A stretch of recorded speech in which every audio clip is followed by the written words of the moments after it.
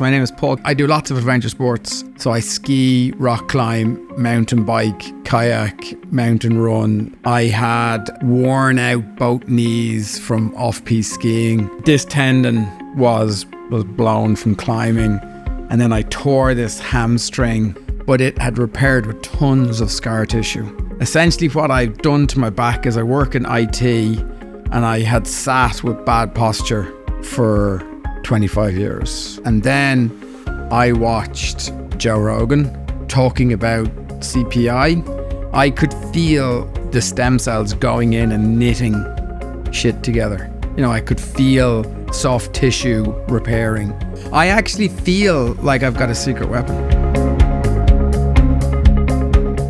I had been trying to treat this tendon for so long PRP injections, uh, steroid injections, cortisone injections, and I would describe it as treatment resistant. It didn't matter what I did, the thing just wouldn't get better. I mean, it was just a pain in my ass. I watched uh, Mel Gibson on Joe Rogan. I got, you know, I followed their procedure and it just got better. Like, it just got better.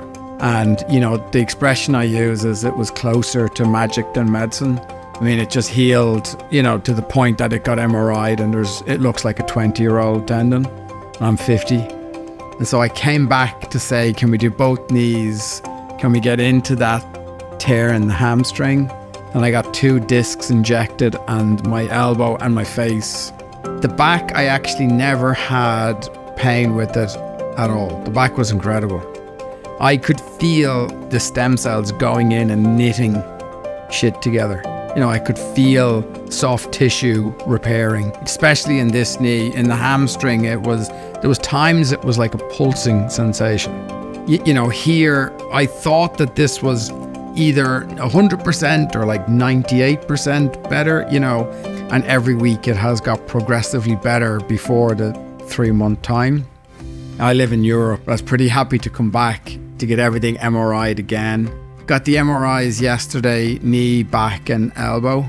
I didn't ask for this knee because it's just it's 100%. There's just no point in doing anything with it. The, the results from the MRI, eh, the elbow, they said it's like 99%. And then, and they're going to do the knee. She would give the knee like a 95. You know, I'm pretty confident that, that both of them are going to get to 100 and then the disc degeneration has improved a lot. You know, so I went and I got an MRI back in Europe, and the doctor said, "Oh, uh, Paul, I'm so sorry. We've obviously done the wrong elbow." And I said, "Why?" And he says, "Because there's like there's no scar tissue. There's nothing. It is 100% perfect." I was like, "No, dude, that was the elbow." The, the most surprising thing for me was it was actually an emotional experience leaving after the week. Like I felt a big connection to people, and everyone said the same. It's kind of like a shared experience where people are doing, taking a proactive step to change their life. You know, it was really powerful. I actually feel like I've got a secret weapon. Do you know what I mean? Like I feel like, oh, if something happens, I would just come here, get it treated. But like I'm 50 years old.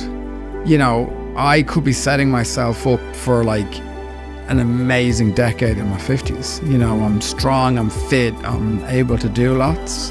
And, and the thing for me is, I, I don't want to go back climbing at like 40%.